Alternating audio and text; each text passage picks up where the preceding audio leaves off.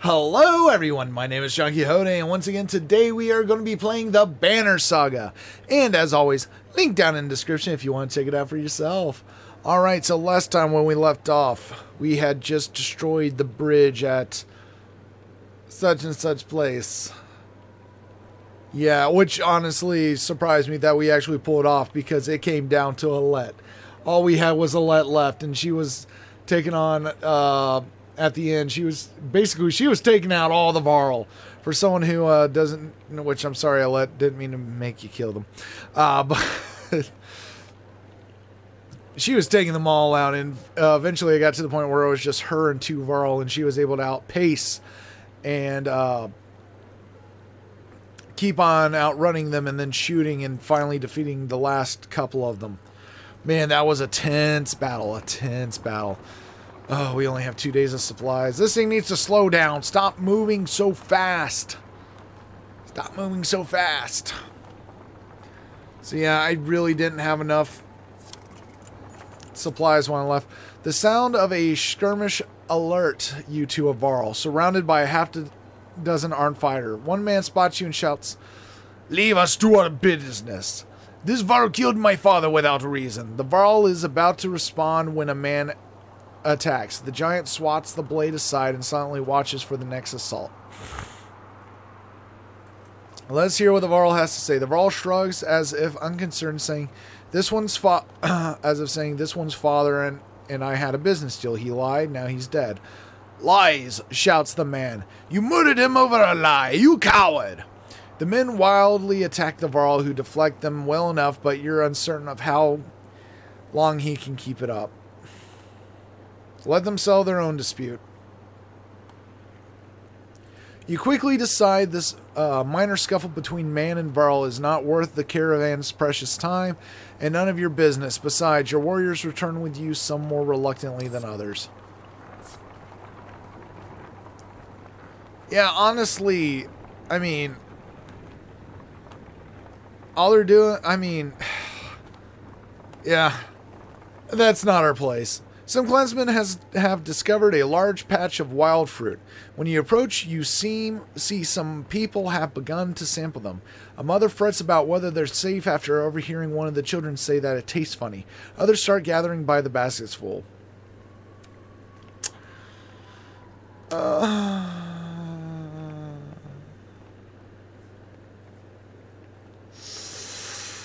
observe someone who already ate some. After a short time, you note the slurred speech of a young man partaking of the fruit. Besides a little drunk, he seems perfectly fine. Gather as much as you can, then. Gather what you can. You can tell you tell the others. Thankful to add any amount of food to your stores. Though a few people become a little drunk from the fermented fruits, nobody becomes sick. Oh, plus two supplies. Thank you. I needed that. I I needed that. I needed that. Okay, we're still in good. We're not great, but we're good in morale. That doesn't sound good. It appears that large figures falling from the direction of Eintroft. Oddleif watches intently before finally saying, They have a card, I can hear it.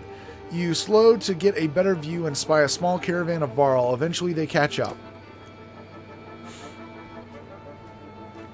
Greetings, Iver. It's been quite a while since we talked hasn't it? I know you, Ubin. Never imagined you'd be one of the to defy the king. What made you leave? Some had to. Someone had to. What do you mean? Bellower is heading this way. Already? How is that possible? A group of all from Win- Wormtoe showed up around the back of Irontrough the long way. Bellower and his army chased them across the summer path, they said. Past Wormtoe? That doesn't make sense. Bellower was at the bridge. He must have doubled back after that serpent appeared. While we fought on the bridge, he led half his forces around to approach Irontrough from behind. Really, Ubin, did you fight? Did you fight? I mean, I don't blame you if you didn't, because, I mean, Okay, that was just part of the animation. I, for a second, I thought, see, I thought, I thought that did, uh, that made his uh, Tesla's move. did I mean, eh, granted your age, I doubt you could really wield a much more than that pin right there. So, the attack on the bridge was a feint. Don't let anyone tell you the dredge aren't clever. Irontroft will fall within a day. Maybe not. He's following you. I thought one of you might know why. You exchange nervous glances, but nobody speaks up. Must be me then. Is there something I don't know? That's quite a grudge he's holding if he's coming for you, Iver. It doesn't matter. Our only chance is to get to Sh- Shingholm. Juno will know what to do. We'll join you. I come bearing supplies and warriors who would be happy to kill a dredge or two, I believe. Thank you. Thank you. Oh, more supplies, more supplies. Less supplies now. Oh, my lord. Oh, my lord. Whew. The caravan stops at a split in the road. I had the path leading to Schlingholm Siglholm veers off into the hills, which are now swimming with familiar black shapes.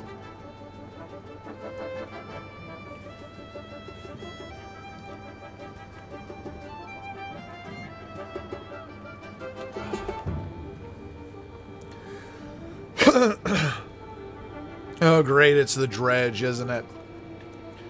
Dredge, that way too? grimaces Evan. The summer path leads straight to Shigholm, while taking the main road will add several days. they're every they're every way by now. Reply They're every way by now, replies Ubin. I suggest we go around. Past Hawkstorp. Okay, so we can send scouts to see how it is, start cutting a path through the dredge let's listen to Ubin. Ubin, he hasn't gotten to this age by just being stupid, so. I hate to say it, you tell Evan, but I'm not willing to walk into swarms of dredge anymore. Juno will have to wait. You turn toward the long road around Hawkstorp instead, hoping you've saved lives in the process. Oh, we gained some renown. Ooh, we got a lot of renown. I can actually upgrade some uh, I can go ahead and start upgrading some, or promoting some people. Assuming I might not need the...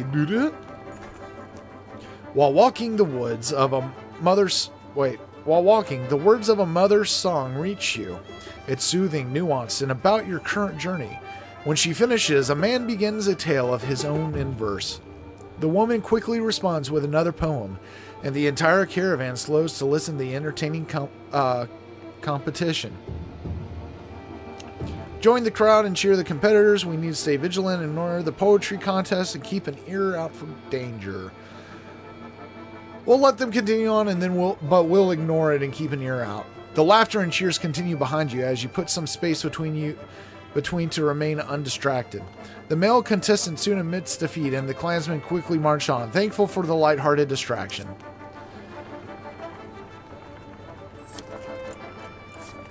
Yeah, this was no time. Where are we now? Oh, you enter a village of miners. Well, they can't drink, so it's fine.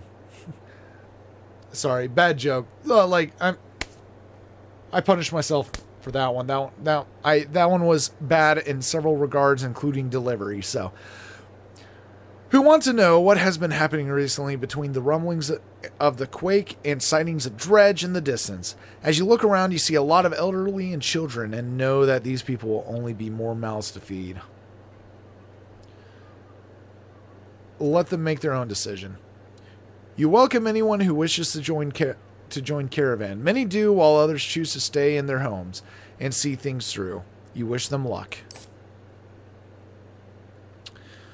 All right, yeah, and let's go ahead and go to market. We have some. Ren One renown gets six. Ooh, we're stocking. We're stocking. Oh, I took the. I took it all. Yeah, we'll take it all. Okay, I don't need to worry about those. I am going to go ahead and promote a couple people. Let's see. Now, who do I choose to promote? That's the question. Definitely Iver. I want him to be able to wear that boat, that boat, that belt. Uh, continue. Yes. Confirm. Confirm. All right. Now, question is, what do we want? Ooh, four points available. Wait, did I not? I might not. I might have forgotten to upgrade him last time. All right, let's see.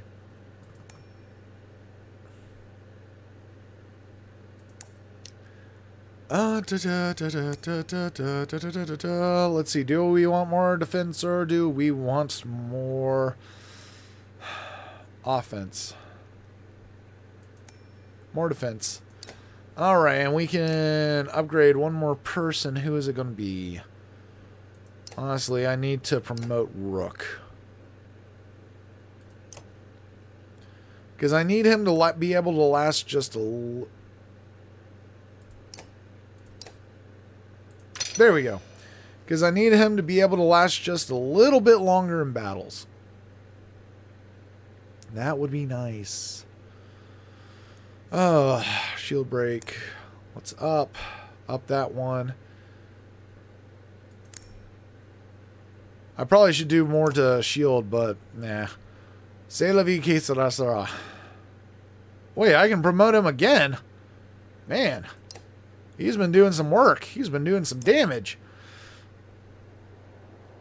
And with this, I do believe we can go ahead and rest for a day. We're going to go ahead and rest. They deserve a rest. And now everyone should be full health. Yeah, everyone's full health. Yay. I'm still surprised Krummr stuck with us. Yeah, I really am surprised that Krummr decided to stay with us. I would have thought he would have stuck with the Oh, great. This sounds like battle music. Are we coming across the dredge? Look at that! shouts one of your clansmen. The caravan stops to watch Dredge pulling into the village you just passed through. I hope anyone who stayed behind got out alive, says Alette, but you have your doubts.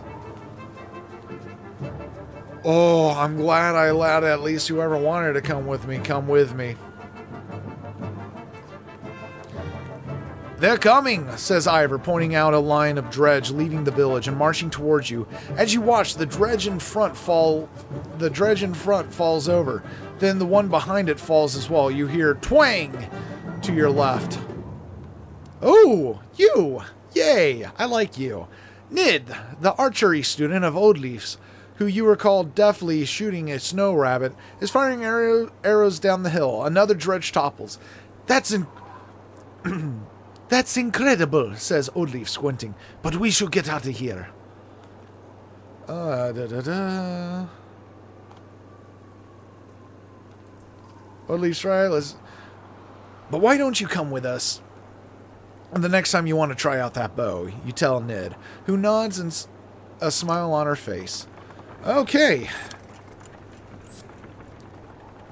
Yeah, I feel like letting her take out a few more probably would have ended up getting us in a fighting position that we didn't want to be in. Someone, someone's, someone's been nick nicking extra goods from the supplies. Concerned woman tells you, counted these myself yesterday. No mistake. This keeps up. We'll all be starving before long.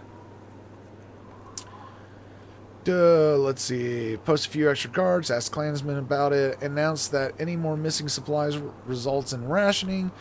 Tell me if you see it again. We're going to post a few extra guards. To deter any further theft, you discreetly place some trusted guards by the caravans. You hear a few people casually point out the extra manpower, but nobody seems to raise an alarm for now. I mean, it shouldn't... Ooh, what's that? Morale declined. Again. Again it declines. Always declining. Never reclining, never taking a break, never relaxing. We made it to another godstone. This one is broken in three. Time to see who this god represents and if it has anything to do with me. Okay, so who's this one? Who is this one not broken in twain but trice? Broken in trice. Wow. The god stone of Dundr passes around you. In the frozen climates here, it looks like the rock has split and is falling apart, held together only by the deep snow. Curiously, when standing between the stones, the wind drops off completely, picking up again once you've passed through. I almost wonder if we should rest here for the night, says Iver, who seems to have noticed the same thing. With all the snow around, with all. Uh, wait. Ah, they forgot quotation marks there. With all the snow around it, Dredge might not even be able to find it. Yeah, I agree. Let's stay overnight. You walk around you walk around camp before settling in. Along each strand of Dundr's massive beard is carved a different part of his story. And you turn your head and to and fro to read it. While the Loom Mother was the first to create, she soon, she soon found a counterpart in Dundr, who embodied her ideals in a masculine form. Dundr took some of her creations, gave them beards, and showed them the secrets of smithing. Though many remember him just as fondly for teaching uh, them games and songs of myth, of mirth. As the camp settles and you notice a, a group of boys huddled around something, they show you an offering box carved in the godstone itself. The box is an elaborate construction of interlocking pieces which slide around when touched. We can't get it to open, they tell you. It's like a puzzle. Let's try to open it. The boys take turns working out the puzzle and give you tips when it's your turn.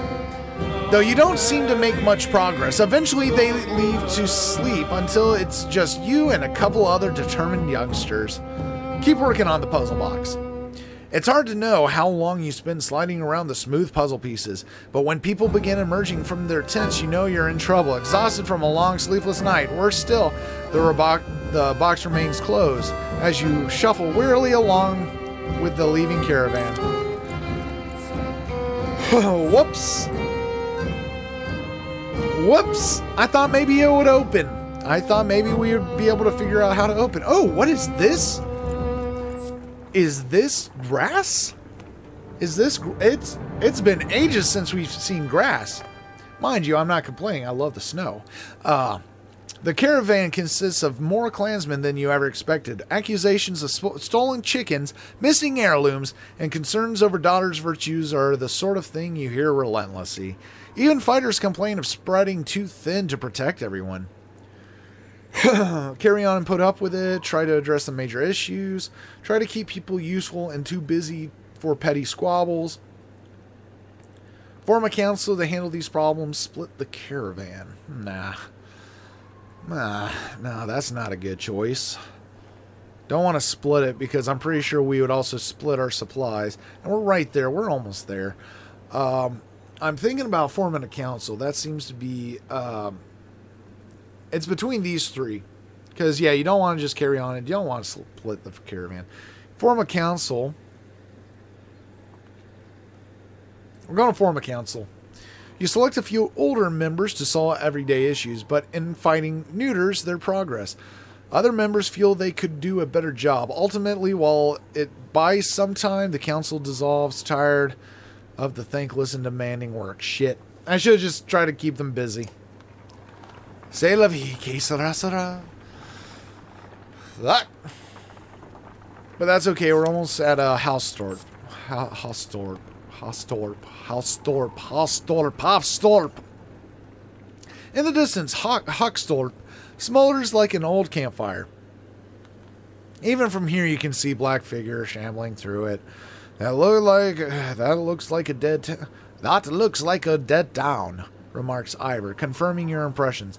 There's there's usually survivors, Oddleif reminds you.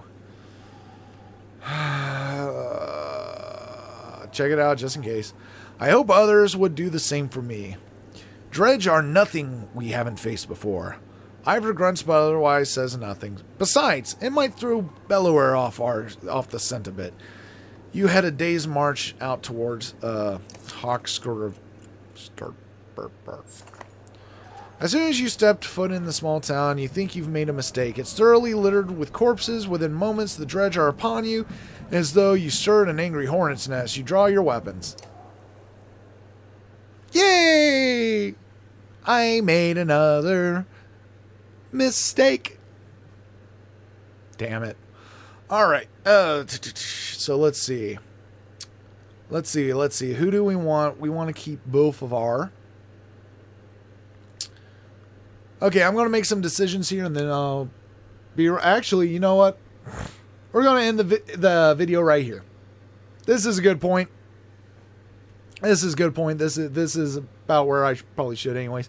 So, yeah. So if you, we'll continue this next time. Uh, in between uh, episodes, I'll have it sorted out who I'm going to have to go and battle and all that fun stuff. So yeah. So if you enjoyed, don't forget to hit that like button down below and let me know.